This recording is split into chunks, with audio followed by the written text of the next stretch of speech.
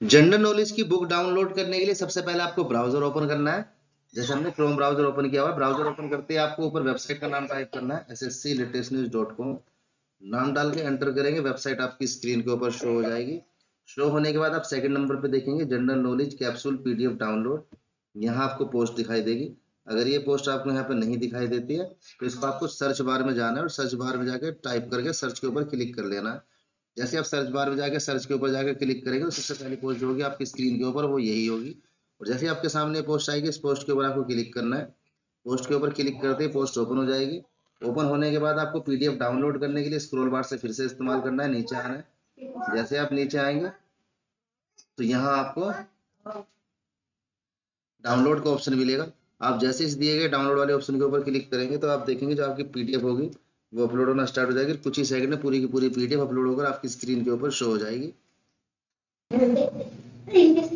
आप देखेंगे पूरी की पूरी पीडीएफ अपलोड होकर आपकी स्क्रीन के ऊपर शो हो गई है। जिसे आपने साइड में दिए गए डाउनलोड वाले ऑप्शन के ऊपर क्लिक करके डाउनलोड कर पाएँगे।